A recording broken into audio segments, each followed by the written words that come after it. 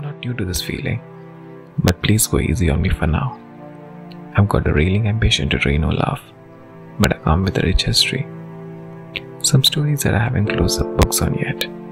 By the looks of things, this may be too soon that we've met.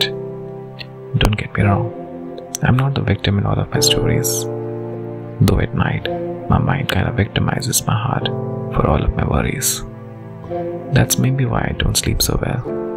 For the night is when my mind is full of mind, trying to break down scenarios that didn't feel right. Like a helpless prey, I creep into the cover, waiting for when there's light. That's when my eyelids lower. Trust me, I'm not new to this feeling.